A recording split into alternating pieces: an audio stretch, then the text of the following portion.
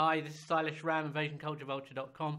I'm with the great Indian contemporary director Vidhu Vinod Chopra, and we're talking about his latest film, which is a Hollywood film called Broken Horses. Um, Vidhu, welcome. Um, you must have had a lot of scripts and uh, all kinds of projects you could have got involved with. Why did you want to make this, this film and a Hollywood film?